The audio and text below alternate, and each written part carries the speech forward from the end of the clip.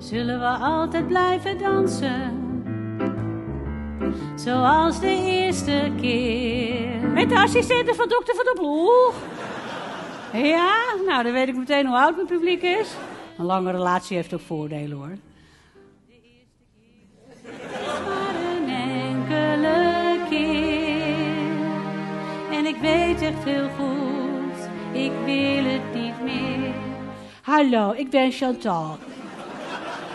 Welkom in onze kliniek, natuurlijk en dicht bij jezelf. Als ik het echt moeilijk heb dat ik geen kinderen heb, dan typ ik altijd even op internet in: Ik heb spijt van mijn kinderen.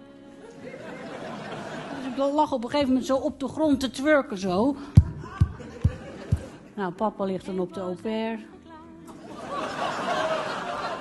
Dat ik jou graag mis,